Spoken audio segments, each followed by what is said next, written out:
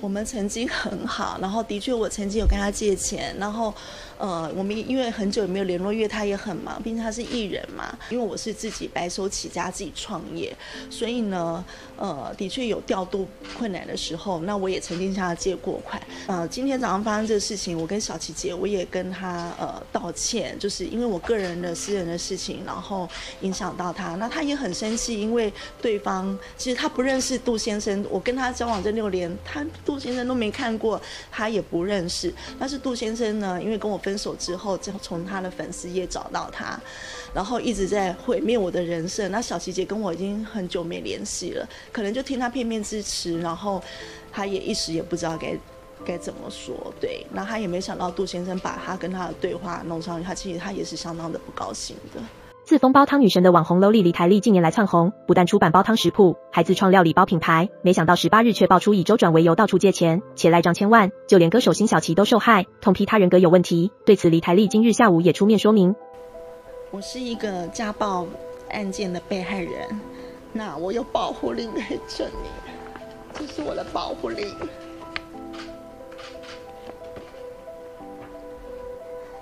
那呃，今天早上我看到报道呢，呃，媒体是写 A 先生，那我不晓得，就是为什么媒体公开我的名字，却不公开对方的名字？那他姓杜，那他不敢公开他自己名字，他不是不敢对自己的言行负责吗？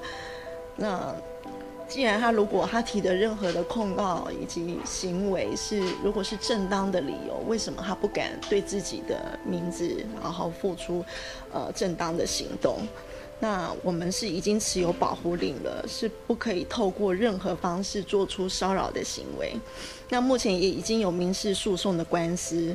那杜先生又透过公众的媒体发布假那个假消息。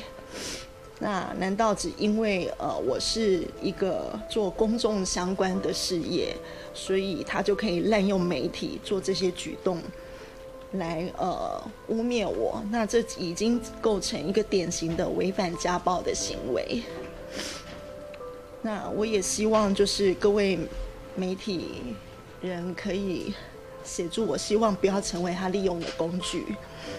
那我因为爱一个男人呢，共同生活了六年。那对方也因为承诺呢，要照顾我跟我还在读书的女儿。那因为对方其实是多次劈腿，他就已经是惯犯了。然后我最后是因为忍无可忍，所以我才会提出要分手。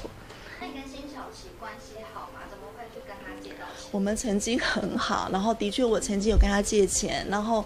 呃，我们因为很久没有联络，因为他也很忙，毕竟他是艺人嘛。那呃，曾经我的确我在呃。呃，五六年前我曾经是就是比较呃，不对，应该是七八年前，不好意思，因为七八年前呢，我曾经的确是我在，因为我是自己白手起家自己创业，所以呢，呃，的确有调度困难的时候，那我也曾经向他借过款，那一直都是在分期付款当中，并没有像他讲的。那我呃今天早上发生这个事情，我跟小琪姐我也跟他呃道歉，就是因为我个人的私人的事情，然后影响到他，那他也很生气。因因为对方其实他不认识杜先生，我跟他交往这六年，他杜先生都没看过，他也不认识。但是杜先生呢，因为跟我分手之后，就从他的粉丝页找到他，然后一直在毁灭我的人设。那小琪姐跟我已经很久没联系了，可能就听他片面之词，然后他也一时也不知道该该怎么说。对，那他也没想到杜先生把他跟他的对话弄上去，他其实他也是相当的不高兴的。对。